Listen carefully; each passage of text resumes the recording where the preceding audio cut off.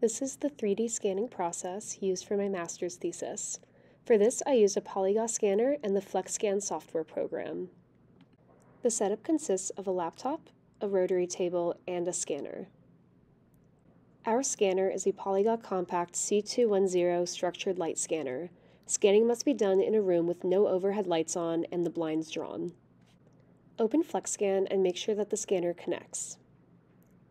When it's connected, it should flash blue rapidly. Start a new project, name it, and save it to your designated desktop folder.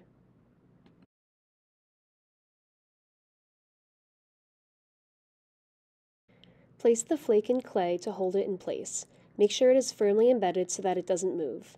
Place clay balls around the flake to help the scanner calibrate the space.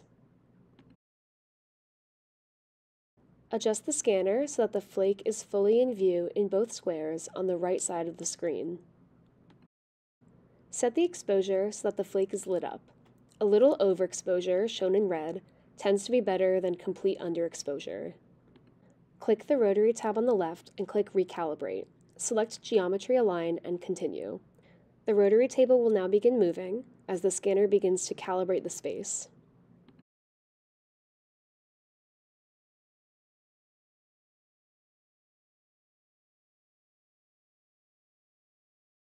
When it has successfully calibrated and you are happy with your exposure levels, click Scan.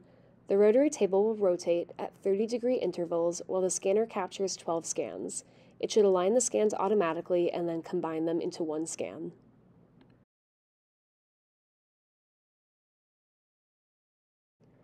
Use Control click and drag to select the clay area of the scan in order to delete it. This will cut off some of your flake.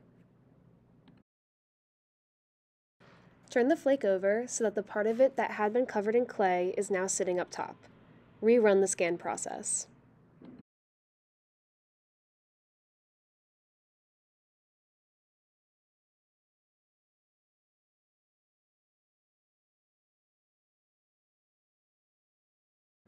Remove the part of the scan that is embedded in clay.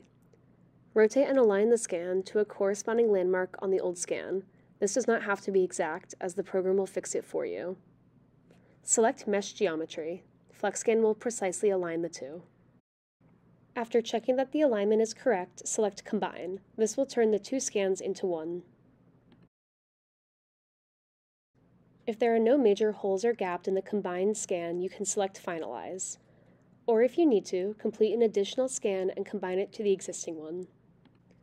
Finalize the scan with the settings set to Precise Merge and Hole Filling High.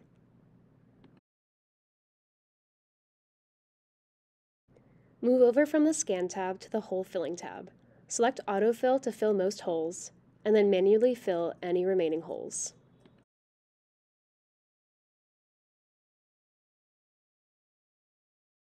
This is done by clicking and dragging to build bridges across holes, and then clicking Fill Selected.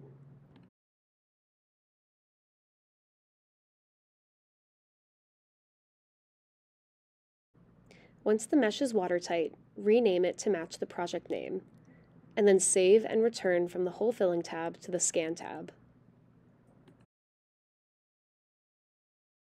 Turn on surface texture to double check that it was picked up. Export the scan, and it should automatically export as a PLY file.